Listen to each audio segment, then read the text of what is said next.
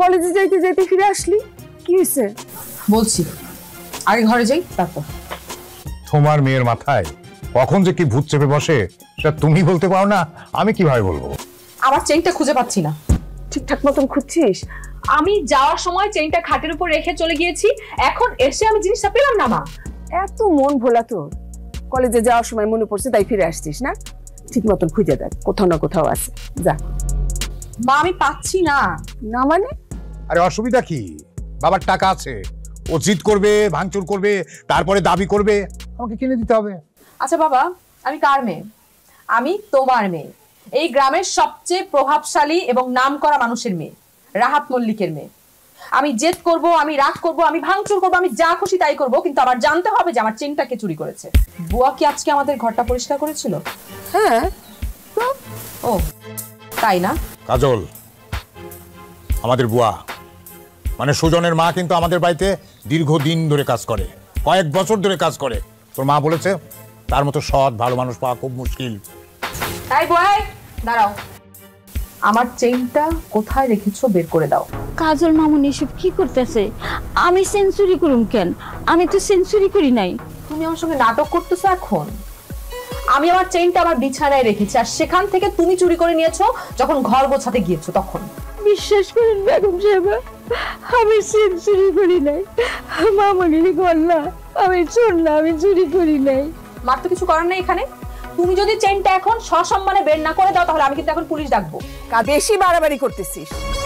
আমি নিশ্চিত করে জানি যে সুজনের মা তোর চেনটা নেয় নাই। তুই অন্য কোথাও রাখছিস খুঁজে দেখ। মা আমি নিশ্চিত হয়ে বলছি এই বুয়া আমার চেনটা চুরি করেছে। মামুনি আমি আপনার পায়ে ধরতেছি আমি সত্যি চেন্না চুরি করি নাই বুয়া কি বের করবে? ভাবি এই বুয়া আমার চেনটা আমার বিছানা থেকে চুরি করে নিয়ে গেছে। তুমি বিছানার ওপর চেনটা রাখো নাই। তুমি রেখেছিলে ড্রেসিং টেবিলের ওপরে। আমি কি মনে করে তোমার রুমে গিয়েছিলাম? গিয়ে দেখলাম ড্রেসিং টেবিলের উপরে তোমার চেনটা রয়েছে। আমি ওটা নিয়ে আমার আলমারিতে রেখে দিয়েছি। ছি ছি ছি কাজল। একটা গরিব মানুষে চোর বানাই দিলি। সুজনের মা কাজল ছোট মানুষ ভুল করে ফেলছে। তুমি কিছু মনে করো না? বেগম সাহেবা কালকের থেকে আমি আর কামে আসব আপনি আমার টাকাটা দিয়ে দিন। তোমার মেয়ের জন্য এমন একটা ছেলে দেখতে হবে যে তোমার মেয়েকে বসে আনতে পারবে। তোমার মেয়ে ওই যে কথায় আছে না তোমার মেয়ে যদি হয় বুনোল তাহলে ওর জন্য লাগবে বাঘা তেঁতুল। এমন ছেলে পাবো কোথায়? তোমার মেয়ে যেমন জেদি মানে জেদি বললে ঠিক হবে না বেয়াদব। এই বেয়াদবটাকে ঠিক করার জন্য মানে তাকে আদব কায়দা শেখানোর জন্য শিক্ষা দেওয়ার জন্য সেরকম একটা ছেলে আমি অবশ্যই খুঁজে বের করব। কি হয়েছে তোমার?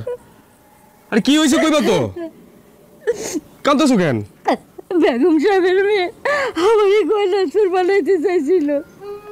আমি চুরি করি নাই। আমি বেগম সাহেবের পায়ে ধরে কইলাম আমরা গরিব হইতে পারি কিন্তু চোর না। পরে আমার কথাই সত্যি হইল।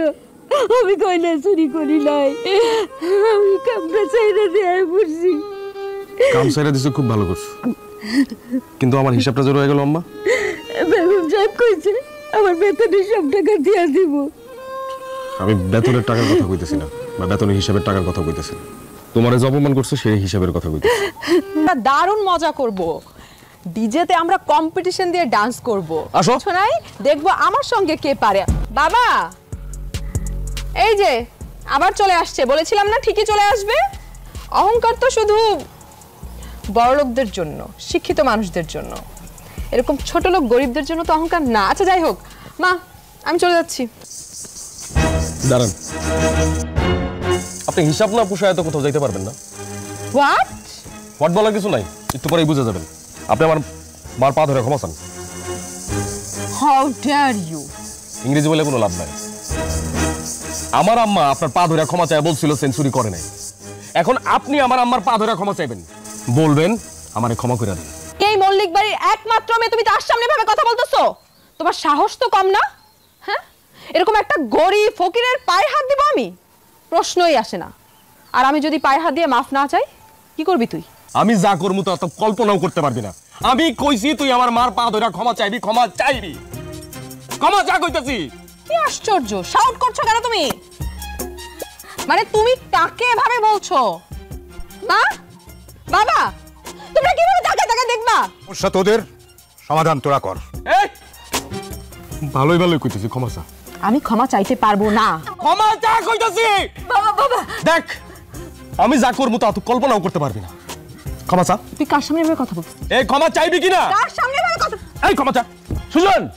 বাবা তুমি থাপ্পড়া দাঁত ফালা দিবা? বেয়াদব! একটা কথা কবি না ক্ষমা চা কইতাছি। ভাই আমি কিন্তু ধরে মেরে ফেলব এখন। এই এই তোর কাছে কি মনে হয়? তখন মতো বড় লোক খালি তোর অহংকার থাকতে পারে সম্মান থাকতে পারে। এই যে তখন কাজ করে। কি সম্মান নাই? এই তুই জানো তোর কাছে যেটা বুয়া ওটা আমার কাছে মা। এই ক্ষমা চা! ওকে আই এম সরি বুয়া। এই! আমার আম্মা ইংরেজি বোঝে না। ঠিক আছে। দেখ পাদর ভালো করে ক্ষমা চা। বুয়া আমাকে মাফ করে দাও। আরেকটা কথা। এই ওই শোন শোন। মানুষকে সম্মান করবি। কতটা মাথায় রাখিস। তাই বলে এতদিন ধরে আমাদের বাসায় যে কাজ করে তার ছেলের সাথে তুমি কাজলের বিয়ে দিবা এটা কি সম্ভব? সবই সম্ভব আমার উপর বিশ্বাস রেখো। দেখবে ওই কাজের বুয়ার ছেলে মানে আলেয়ার ছেলেই একদিন আমাদের কাজলকে সম্পূর্ণভাবে বদলে দিয়েছে। কিন্তু কাজল কি রাজি হবে? মানবেও? মানানোর দায়িত্ব আমার। আর এমনভাবে মানানোর ব্যবস্থা করব কাজল তো দূরের কথা কাজলের মাও মানতে পারতে হবে। সোহেল তার মায়ের অপমান সহ্য করতে পারে নাই। তাই সেই কামটা করছে কিন্তু আমি এটা চাই নাই। ক্যান্সেল নয় তুমি জানো না তোর চোখের পানির দাম আমার কাছে কতটুকু? সাসি হ্যাঁ বড় লোকের মাইয়া বইলা যা খুশি তাই করে যাব এটা তো হইতে পারে না। এইবার বুঝব কত ধানে কত চাইল তারপরও ওই বাড়ির বড় সাহেব বেগম সাহেবা কি মনে করল কে জানে? তুমি থাকো তোমার সাহেব আর বেগম রলই তোমার ছেলে আমাকে আসতে বাধ্য করল। সোহেল একটু বেশি বাড়াবাড়ি করে ফেলাইছে। আমি মা তো তাই ও মায়ের অপমানটা সহ্য করতে পারে নাই। না তোমার ছেলে মোটেই বাড়াবাড়ি করেনি। আমার বেয়াদব মেয়ে অহংকারী মেয়ে। আমার ব্যর্থতা ওকে আমি আদব কায়দা শেখাতে পারিনি। তোমার ছেলে সেই শিক্ষাটা দিয়েছে। এসব কি কইতাছেন বড় সাহেব? তোমার তো এই ছেলেকে নিয়ে গর্ব করা উচিত। কজন এরকম সন্তানকে জন্ম দিতে পারে বলো? তোমার হয়তো বিশ্বাস হবে না। কিন্তু আলেয়া আমি তোমার কাছে একটা কিছু চাইতে এসেছি। আমার কাছে? কি চাইতে আইছেন আমি তোমার ছেলেটাকে চাইতে এসেছি। তোমার ছেলের সাথে আমার মেয়েটাকে বিয়ে দিব। বড় সাহেব আপনি যেটা কইতাছেন এটা কি কইরা সম্ভব? সম্ভব করতে হবে আলেয়া। আমি অনেক আশা করে প্রস্তাবটা নিয়ে এসেছি তোমার কাছে। তুমি কি সেটা ফিরিয়ে দেবে? আমার বিশ্বাস তুমি ছেলেটাকে বোঝালে ও বুঝতে চেষ্টা করবে। তুমি ওকে বোঝাও। আমি এই বিয়েটা করতে রাজি না। ওর মা আমাদের বাড়ির কাজের বুয়া। কাজের বুয়ার ছেলেকে আমি বিয়ে করব। আমি বড় জোর আমার ব্যক্তিগত চাকর হিসেবে রাখতে পারি। আমি তাও রাখব না ওই ছেলেকে। হ্যাঁ, আর তারপর তো বিয়ে। আব্বা দেখেন পাগলি কি কয়। এই তুই যে কাজের লোক রাখবি কাজের লোক রাখতে হলে বেতন দিতে হয়। আর বেতন দিতে হলে টাকা লাগবে সেটা টাকা তুই পাবি কোথায় হ্যাঁ? কি বলতে চাও তোমরা? বলতে চাই আমি সিদ্ধান্ত নিয়েছি। তুই যদি এই বিয়েতে রাজি না হোস তাহলে আমার সম্পত্তি এবং ব্যাংক ব্যালেন্সের যে অংশ তুই পাবি তা সম্পূর্ণ আমি ওই বুয়ার ছেলের নামে দলিল করে দেব দান করে দেব। বাবা! হ্যাঁ এটাই আমার সিদ্ধান্ত। তোর এখন অপশন দুইটা। তুই হয় বিয়ে করবি আর তা না হলে সমস্ত সম্পত্তি থেকে তোর অধিকার আর বঞ্চিত হতে হবে কিসে কোথায় নিয়ে আসছো তুমি ওকে ঘরে নিয়ে এসছি আমি কি বস্তির ঘরে বহার জন্য আসছি? মানে কি অবস্থা? ছি মনে গরু বাস করে এখানে গরু? গরু ছাগল পালো নাকি হাঁস মুরগি পালো? মুখ সামলাই হাঁস কথা বলো। মুরগি তো। এই মুখ সামলাই কথা বলো। এটা গরুর ঘর। এটা আমার ঘর। এই মেয়ে এই। এই নতুন বউ না? গোমটা দিয়ে কথা বলো। জাস্ট শাট আপ তোমার ঘরে বৃষ্টির পারি পারি উপর থেকে লজ্জা লাগে না এসব কথা বলতে? আবার বড় বড় কথা বলো। একদম লজ্জা করে না কারণ তোমার বাপ যাই না শুনেই বিয়ে দিছে যে আমার ঘর থেকে বৃষ্টি পড়ে আমার ঘর মাটির আমার বিছানার চাদর ময়লা ভাই এমন করে না ভাই। নতুন বউয়ের সাথে এরকম করে কথা বলে মিষ্টি সুরে কথা বলে। তারপরে বসো খিদা লাগছে? খাওয়া না দিমু? আমি খাওয়া এনে দিতেছি খায়া তুমি ঘুমায় থাকো। সুন্দর একদম চুপ। তুমি তোমার চাচিকে গিয়ে সরাসরি বলে দাও তার ছেলেকে আমি বিয়ে করতে বাধ্য হয়েছি তার মানে এটা না যে তাকে আমি হাজবেন্ড হিসেবে মেনে নিয়েছি। এই তুমি বিয়ে করতে বাধ্য হয়েছো তার মানে কি আমি তোমার বিয়ে করতে বাধ্য হয়েছি? আমি বিয়ে বাধ্য হইনি। তোমার বাপ আমার কাছে জোর করে বিয়ে দিছে। খবরদার বাধ্য কথা কইবা না। আর তোমার মাথার থেকে কেমনে দেমাগ নামাইতে হয় সেই তাবিজ কবচ আমার জানা আছে। বসো আমার বোনের বিয়ে মল্লিক বাড়ির মতো হওয়া উচিত ছিল। হ্যাঁ হ্যাঁ। তোমাদের মা বেটার কথায় যুক্তি আছে। কিন্তু তোমাদের বোন মানে আমার মেয়ে তার মানসিক পরিবর্তন না হওয়া পর্যন্ত আমি এটা ঠিকই করেছি বলে মনে করি। তার মানসিক পরিবর্তন হোক মানে তার মন থেকে অহংকার অহমিকা এগুলো দূর হলে আমি আবার বড় অনুষ্ঠান করে ধুমধাম করে সবাই মিলে আনন্দ করব। কোনো অসুবিধা নাই। না। রাইট মেলা হয়েছে শুয়ে পড়ো না। আরে আজিব ঘুমাইবা না নাকি? না আমি ঘুমাবো না। যে বিশ্রী গন্ধ আমি আমি একটা মুহূর্তে ঘরে এসে বসতে পারতেছি না। আমি তোমাকে কতবার বলছি যে তুমি একটু ঘরটা পাকা করো তুমি একটু বিল্ডিং করো একটু সুন্দর করে করো। কি? তুমি এত নোংরা কেন? হ্যাঁ? বাবার বাড়ি থেকে যখন আসলা তখন আসার সময় তোমার বাবার ঘরটা মাথায় করে নিয়ে চলে আসতে জানি তো হইতো। ফকির হয়ে কোটিপতি হওয়ার স্বপ্ন দেখো না? আমাকে কেন বিয়ে করছ? আমাকে বিয়ে করছ কেন তুমি? আমার জীবন নষ্ট করতে? এই তোমার আমি বিয়ে করি। হ্যাঁ আমি কি পরিবেশে বড় হয়েছি? কোনোদিন থাকছি আমি এর মধ্যে। এখন থেকে এমনিই থাকতো আর তোমার আমি বিয়ে করিনি তোমার বাবা আমার কাছে বিয়ে দিছে। আমি তোমার সঙ্গে ঘুমাবো না। যতদিন এই ঘর ঠিক না করো আমি তোমার সঙ্গে ঘুমাবো না। তুমি এমনিই ঘুমাবো ঘুমাইতে হবে। এই বিছানাতে ঘুমাইতে হবে যতই দুর্গন্ধ হোক যতই যা হোক এই বালিশে তোমার ঘুমাইতে হবে। সব প্রশ্নই আসে না। আমি এইখানে থাকব না। এই থাকবা কই? ওই সেদিনের মতো বারান্দায় ঘুমাইবা? আমি বারান্দায় ঘুমাবো। যাও যাও। তোমার মতো মানুষের সঙ্গে? আরে শোন। চুপ! বেয়াদব। আজব কিছু একটা মাইয়া। থাকো থাকো। একটু পরে টের পাইবা। করলাম না তোমার সংসারকে আমার দিছিস না? লেগে আমি ঘুরতেছি। আমি ওই গাছের মধ্যে থাকি টিনের চালে থাকি মাঝে মাঝে তো তোর তলেও থাকি শ্মশান ঘাটেও থাকি। তোরে তো আমি খামু। পাইছি আজকে তোরে মা ওঠো। তোমার এরম জায়গায় হনের অভ্যাস নেই মা।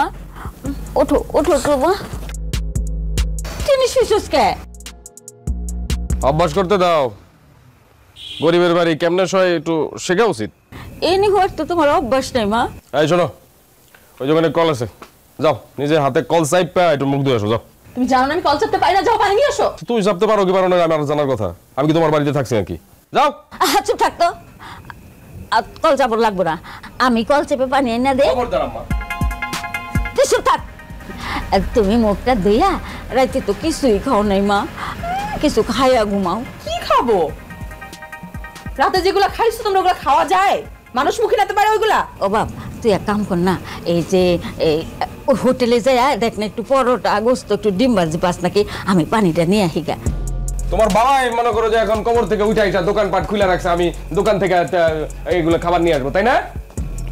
ঘুঘু দেখছ ঘুঘুর ফাঁদ দেখো। আমি না তোমার একবার দেখি এই শোনো এইসব ফাদমাতা আমার দেখা কোনো লাভ নাই বুঝছ? এখানে থাকতে হলে এমনি থাকতে হবে এটা অভ্যাস করো বুঝছ? এখানে তো থাকা লাগবে তাই না? ও মা নে। মুখটা দিয়ে নে মা। এরপর ও ও, ও মা আমার আসলটা দে মিশা বিশ্রী গন্ধ হয়েছে মানুষ মুখে। আচল দিয়ে মানুষ মুখ করতে কোনটা গন্ধ? আমি ছোটবেলার থেকে আমার মায়ের আসল দিয়ে আমি মুখ মুছে বড় হয়েছি। তোমার কাছে এটা গন্ধ লাগে না? এ আম্মা এদিকে আসো। এইটা দিয়ে তোমার মুখ মুছতে আরে জোরাজোরি করিস না। রান্না করে কিছু মাছ আনছি মানে টাকি মাছ আনছি। লাউ দিয়া খাইতে মন চাইছে। তুমি কাটবা তারপর লাউ দিয়া রান্না করবা। পেট ভরে ভাত খাব অনেকদিন ভাত খাই। আমি পারব না। যাবা কি যাবা না? আমি তোমার ঘরের বুয়া না যে তুমি আমাকে দিয়ে রান্না করাবে। আরে আমি তো বলি নাই তুমি এই বাসার বুয়া তুমি যাও। যাবা কি যাবা না? যাব না আমি। আম্মা! আম্মা! ওই দেখো বিছানার পাশে একটা লাঠি আছে একটু নিও তো আম্মা।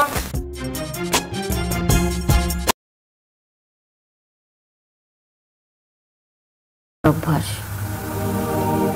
মানুষে ভালোবাসা দিয়া আদর যত্ন দিয়া বুঝায় সুজায়া কইলে ঠিকই বুঝে। তখন দেখবি তোর মনের মতো করে বদলায় যাইব তুই যেমন চাস ঠিক তেমনই হইব।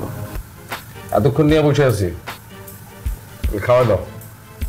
হোয়াট হোয়াট মাট বলে লাভ নাই। এতদিন মার হাতে খাইছি এখন থেকে সিদ্ধান্ত নিয়েছি তুমি খাওয়াই দিবা। তুমি ওকে কি পাইছো বলো তো? মানে তুমি যখন যা বলবা যেভাবে চলবা যা খুশি তা আবদার করবা আর আমি শুনব? প্রশ্নই আসে না। ঘুঘু দেখছ ঘুঘুর ফাঁদ দেখো। তুমি শুনবা না। তুমি তো শুনবা সাথে আর অনেককেই অনেক কিছু শুনব। কারণ খাওয়াই দিবা কিনা সেটা কও। না আমি তোমাকে খাওয়াই দিব না। খাওয়াই দিবা না? আমি কিন্তু খাবারটা এখান থেকে ফেলে দিব। দাও ফালাই দাও। আচ্ছা ফালাই দেওয়ার লাগবো। আচ্ছা দরকার নাই। ময়না তোমাদের আমার বাড়িতে ছিল তাই না এ ময়না! ময়নাকে কেন রাখছো দরকার আছে। ময়না লাঠিটা আনতো রান্নাঘরের দিকে আছে। আমি খাওয়াই দিচ্ছি আরে মা তুই তুই তুই কেমনে আসছিস? কখন আসছিস ভাবি। আরে বোমা বোমা দেখো। দেখো কে আসছে। আইতো না। কেমন আছিস ভালো আছি খুব ভালো আছি। আমি তোমাদের ছেড়ে তো থাকতেই পারি না। কেমন আছিস ভালো আছি মা ভালো আছো? চাচা আপনার কথা অনুযায়ী আমার ত্রিশ দিনের কন্ট্যাক্ট মনে হয় শেষ। আমি কতটুকু কি করতে পারছি না পারছি আমি আসলে জানি না। আপনাদের কতটুকু ভালো হয়েছে সেটাও আমি জানি আমার চেষ্টার কোনো কমতি আছিল না। আমার মনে হয়েছে এখন আমার জব ডান কি কি বলতেছো সব কি আব্বা কি বলতেছে? তোমার কাছে কি মনে হয়? এই মল্লিক বাড়ির জামাই হওয়ার যোগ্যতা আমার আছে। তোমাকে বাড়িতে আমার মা কাম করে আমি কাজের বুয়া। এই সাহস তো আমার আমার জন্য পাপ। সবকিছু লেগে সরি ম্যাডাম চাচা সালাম আলাইকুম। আব্বা। কই যাচ্ছো তুমি আমার রেখে যাইতে পারব? তুমি আমাকে রেখে চলে যাও না। আমি ভুল ছিলাম। আমি অনেক ভুল করেছি অনেক অন্যায় করেছি তোমাদের সাথে। তোমার মা তোমার মায়ের সাথে আমি এত খারাপ আচরণ করেছি তারপরেও তারপরেও তোমার মা আমাকে সবসময় ভালোবেসে গেছে। তোমার মা আমাদের বাড়ির কাজের বউ হতে পারে। কিন্তু এখন থেকে তো তোমার মা আমারও মা। আমি তো শিখেছি অনেক কিছু তোমাদের কাছে গিয়ে। তোমার মায়ের পায়ে হাত দিয়ে সালাম করার জন্য একটা সুযোগ তুমি আমাকে দাও। দেখো সুজন, আমার কাছে মনে হতো এই পৃথিবীতে টাকাই বোধ হয় সব। কিন্তু টাকার উপরে আসলে ভালোবাসাই সব, সম্মানই সব, যেটা আমি তোমাদের সাথে দিতে পারিনি। কখন যে আমি তোমার মায়ায় পড়ে গেছে আমি না, আমি বুঝতে পারি নাই। আমি বুঝতে পারছি বাবা, মেয়েদের বিয়ের পরে আসলে স্বামীর বাড়ি সব। আমি আমি সুজনের সঙ্গেই থাকতে চাই বাবা।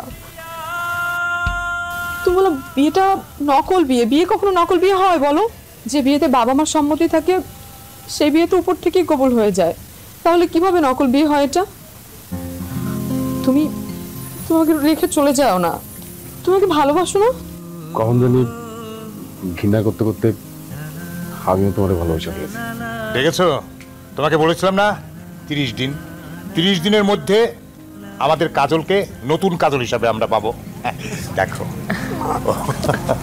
সো এই নাটকটি দ্বিতীয় পার্ট আমাদের এই চ্যানেলে পাবেন। সো দেখতে হলে আমাদের এই চ্যানেলটি সাবস্ক্রাইব করে ভিডিওতে লাইক দিয়ে চ্যানেলের সঙ্গেই থাকুন।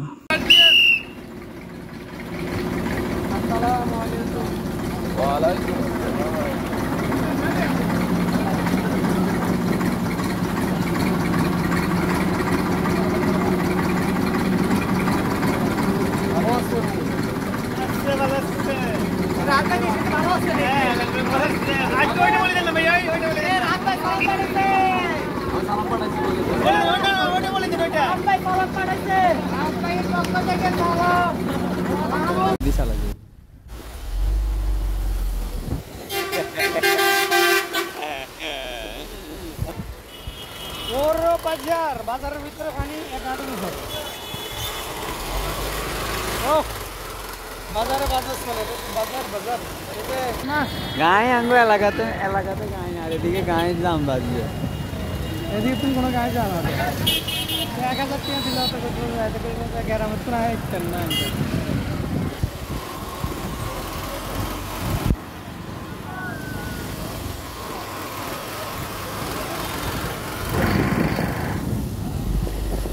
রোড একই অবস্থা এতে অন করিও না আমরা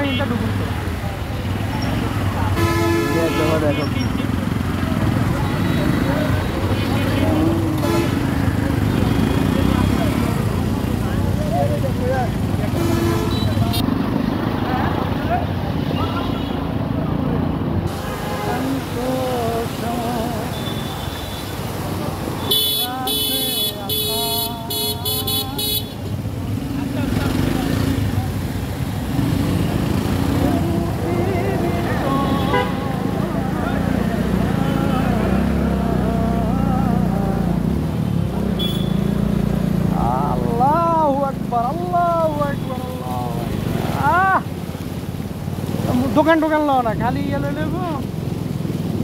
ইয়ে লো গপ্প চলি লো গপ্প চলি গপ্প চলি। হায় হায় গো ক্যামেরা ক্যামেরা টুরি ক্যামেরা না আমরা না ওরে। আঙ্গো ভিডিও চলে। ইয়া। মানুষের মতো কথাবার্তা কোন শুরু করে দিচ্ছি ক্যামেরাতে হ্যাঁ?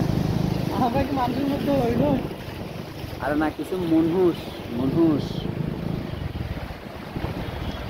আমি আগে ফোনটা সার্চ করতে হবে। আজকে কতদিন ফোনটা সার্চ নেই? এগুলো আল্লাহ আল্লাহ। মুরব্বী ফ্যান উঠেন ফ্যান উঠেন ফ্যান উঠেন ফ্যান মুরব্বি মুরব্বি আদিফের মাদ্রাসা। লই লই। আচ্ছা এসছি নাকি মসজিদের ভিতরে তো পানি ইতিমধ্যে এসছি। না না বাবা মসজিদের এ, বাবা মসজিদের ভিতরে পানি ঢুকে গেছে মনে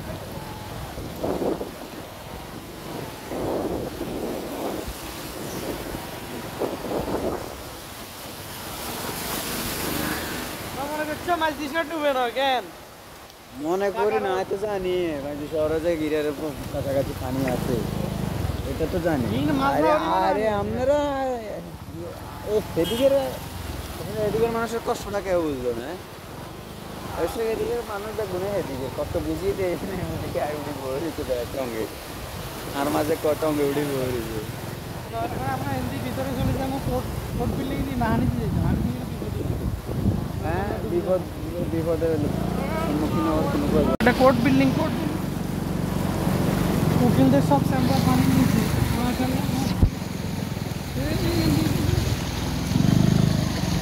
ঠিক আছে ঠিক আছে ঠিক আছে চলে আসবেন পত্রিকা এই তো ভাই ঠিক আছে ঠিক আছে ভাইয়া ঠিক আছে মুরব্বী ঠিক আছে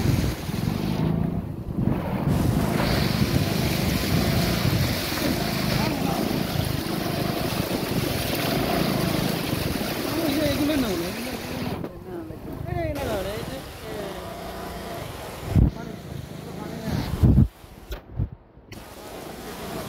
এগুলো নেবা নাম্বার বলছি সব নাম্বার হানির নিচ্ছে হানির নিচ্ছে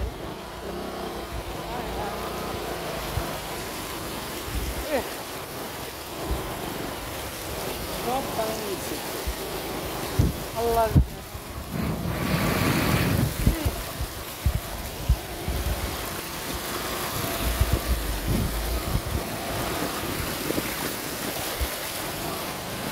এটা নাও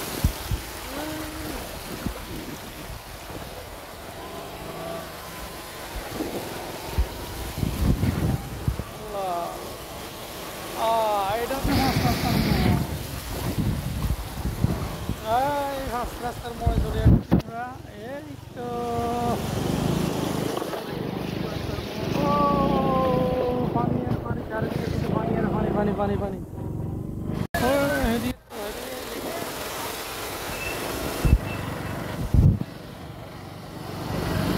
ও এই জায়গা নেই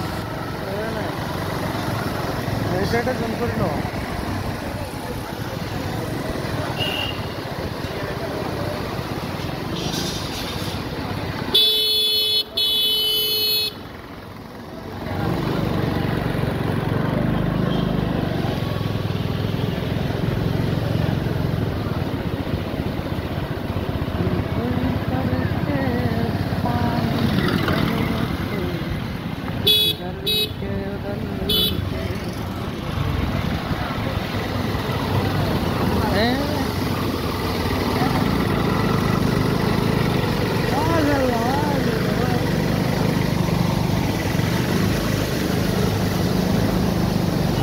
জাগান মা জাগান আই রে